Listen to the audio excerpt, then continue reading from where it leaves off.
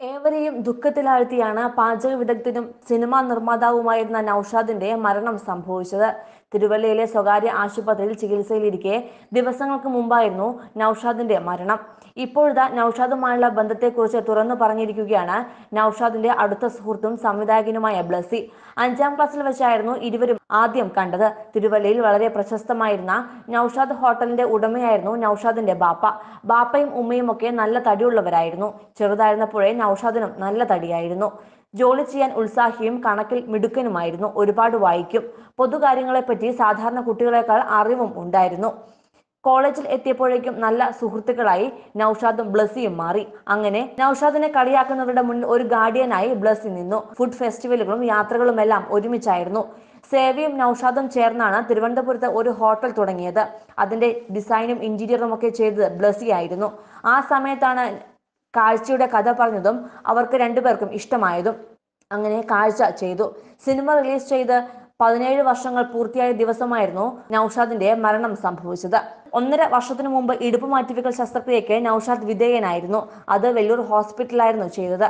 ആ ഓപ്പറേഷന്റെ ഭാഗമായി നൌഷാദിന്റെ കാലിൽ രക്തം കട്ടപിടിച്ചു. ക്രമേണ കാലിലേക്കുള്ള രക്തയോട്ടം കുറഞ്ഞ് കിടപ്പായി. രണ്ടു മാസത്തെ ചികിത്സയ്ക്ക് ശേഷം നടക്കാൻ കഴിഞ്ഞെങ്കിലും പൂർണ ആരോഗ്യം വീണ്ടെടുത്തില്ല. തുടർ ചികിത്സയ്ക്ക് വീണ്ടും ആശുപത്രിയിലായി. പതിയെ സുഖപ്പെട്ട നൌഷാദ് ബിസിനസ് പുനരാരംഭിക്കണം എന്നും പറഞ്ഞിരുന്നു. അതിനെല്ലാം പിന്തുണ കൊടുത്തു. പക്ഷെ വളരെ പെട്ടെന്ന് തന്നെ കാലിലെ വേദന വീണ്ടും കൂടി ആശുപത്രിയിലായി. ഇൻഫെക്ഷൻ കാലിൽ നിന്നും രക്തത്തിലേക്ക് കലർന്ന് മറ്റു പല അവയവങ്ങളെയും ബാധിച്ചു. പതിയെ നൌഷാദിന്റെ അവസ്ഥ മെച്ചപ്പെട്ടു വന്നപ്പോഴാണ് ഭാര്യ കുഴഞ്ഞു വീണത്. ആശുപത്രിയിൽ എത്തിച്ചെങ്കിലും ജീവൻ രക്ഷിക്കാനായില്ല. അവരുടെ ഖബറടക്കാൻ പോകുന്ന വഴി ഐ സിയുവിലായിരുന്ന നൌഷാദിനെ ബെഡോടെ ഹാളിൽ കൊണ്ടുവന്ന് ഭാര്യയുടെ മൃതദേഹം കാണിച്ചിരുന്നു. ക്രമേണ നൌഷാദിന്റെ അവസ്ഥയും മോശമാവുകയും മരണം സംഭവിക്കുകയും ചെയ്തു. വർഷങ്ങൾ കാത്തിരുന്ന ഒരുപാട് ചികിത്സകൾക്കൊടുവിലാണ് നൌഷാദിനും ഭാര്യ നഷ്വയ്ക്കും വർഷങ്ങൾ കാത്തിരുന്ന ഒരുപാട് ചികിത്സകൾക്കൊടുവിലാണ് നൌഷാദിനും ഭാര്യയ്ക്കും നഷ്വ എന്ന പെൺകുഞ്ഞ് ഉണ്ടായത്. ഒരു വർഷത്തോളം ഷീബ ബെഡ് റെസ്റ്റിലായിരുന്നു. അങ്ങനെ ഉണ്ടായ കുഞ്ഞാണ് ഇപ്പോൾ അനാഥമായത്.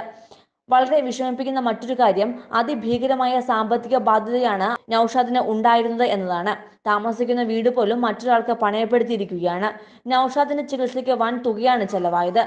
കുട്ടിക്ക് താമസിക്കാൻ ഇടവും അവളുടെ സംരക്ഷണവുമാണ് ഇപ്പോൾ സുഹൃത്തുക്കൾ ലക്ഷ്യമിടുന്നതെന്നും ബ്ലസി പറഞ്ഞു. കൂടുതൽ സിനിമ സീരിയൽ ചാനൽ വാർത്തകൾക്കും നിങ്ങളുടെ പ്രിയപ്പെട്ട താരങ്ങളുടെ എക്സ്ക്ലൂസീവ് അഭിമുഖങ്ങൾക്കുമായി സബ്സ്ക്രൈബ് ചെയ്യാൻ മറക്കല്ലേ?